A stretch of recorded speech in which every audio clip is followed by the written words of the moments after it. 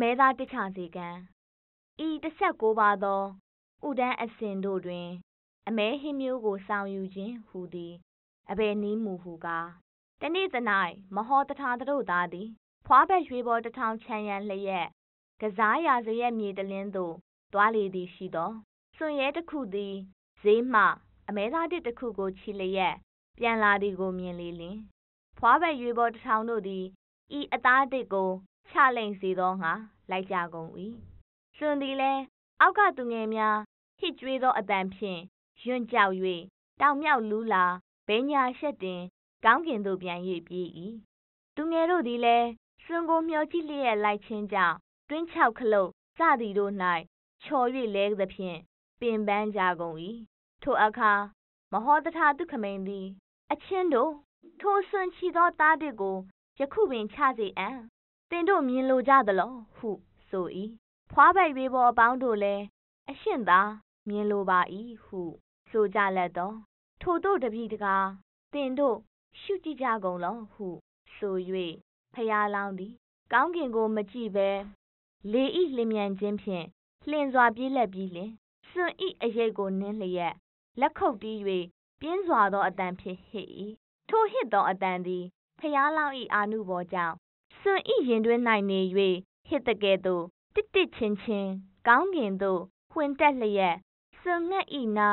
ပွင့်အံ့တကဲ့သို့ဖြစ်၏စွန်သည်ဖျားလောင်းဤအတန်ဖြင့်ကြောက်ရွံ့ခြင်းဖြစ်၍သားတစ်ကိုလွှတ်၏ဖျားလောင်းသည်ကောင်းကင်သို့မမျှော်မကြည့်ဘဲသာလျှင်သားတစ်ကြလာသောအဖြစ်ကိုသိ၍မြေသို့မကျစေရလက်ဖြင့်သားတစ်ကိုခံလင့်၏ထို့သောသောအချင်းအရာကို များစွာကုန်သော လူပရိသတ်အပေါင်းတို့သည် မြင်ကြလက်သောရင်သက်ရှူမောတောသောအုပ်အုပ်ရုတ်ရုတ်သေးသေးအံ့အဲချီးမွန်းလက်ပန်းပေါက်ခတ်လျက်လက်ဖြစ်ရိုက်တီးညီးညီးတန်လေးဟစ်ကြွေးကျူးကျော်ကြကုန်၏ဤသို့သောအချင်းအရာကို ရှုမျှော်စောင့်နေသောအမတ်သည် အတက်သိလေသော အလုံးစုံသောအချင်းအရာကိုလျှောက်စာတင်၍လူလင်မင်းချင်းတယောက်ကို အလျှောက်အထား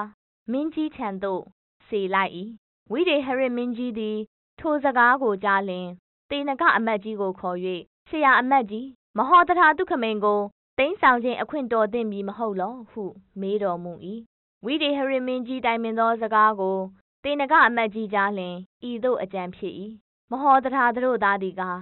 ဤနန်းတော်သို့ရောက်သည်ရှိသော ထိုသူရောက်သောအခါမှစ၍ငါတို့ပညာကျေးဇူးကုန်သည်တစုံတစ်ခုသောအခွင့်တွင်မျှမပွင့်မလန်း ညှိုးနွမ်းရုပ်ရော့စွာ အရာမဝင်သည်ဖြစ်လက်တံ ထိုမင်းသည်လည်း ထိုမဟောတထာရောက်သည်ရှိသော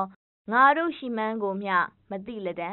ထို့ကြောင့် မဟောတထာကို မသိမ်းမဆောင်စေခြင်းငှာမင်းကြီးလျှောက်ကြအံ့ဟု လက်ပူဇော်တကား ဂုံပညာတို့ ဝင်တိုခြင်းအပြင်အရှင်မင်းကြီးဤစွန်ချီသောသားတစ်ကို ချနိုင်စေခြင်းသည် အနှဲငယ်မြသာသည် ဤမြလောက်သော အချင်းအရာဖြင့် ပညာရှိသူခမိန်မခန့်လောက်သည်ဆင်ခြင်တော်မူအောင်လောဟုလျှောက်၏ဝိဒေဟရစ်မင်းကြီးသည်တေနကအမတ်ကြီးစကားကိုကြားလျင်စိတ်လစ်လျူဖြစ်ပြန်၍တဖန်အမတ်ထံသို့မဟောတထတို့သားကိုစုံစမ်းလေအောင်ဟုစေလွတ်လိုက်ပြန်၏စေလိုက်ပြန်၏ခက်စစ်အဖွင့်ရွေပေါ်ချွေရန်အပေါင်းအဖော်တစ်တစ်ချင်းချင်းဆူးဆူးရှာရှာအတန်ဝင်တက်အထက်သို့ပြန့်နှံ့သည် ရင်သက်ရှူမောရင်ကိုလက်ဖြင့်ပင့်သက်ရလောက်အောင်အံ့ဩငေးမောလျက်အလွန်အမင်းအံ့ဩဖွယ်ရှိလျက်ရုတ်ရုတ်သေးသေးလူအများမငြိမ်မသက်စူဘူးလှုပ်ရှားလျက်လျှောက်စာလုပ်ငန်းကိစ္စတစုံတရာအတွက်တင်ပြသိတာစေရန်ဖော်ပြချက်ပါရှိသောစာလျှောက်ထားမြင့်မြတ်သောသူအားရိုသေးစွာပြောကြသည် အရာမဝင် မတွင်ကျဲအရေးမပါ မဝင်ဆန့်ဖြစ်သည်လက်ပူဇော်တကားရိုသေးလေးမြတ်ခြင်းမျက်နှိုးခြင်းကြောင့်ရသောပစ္စည်း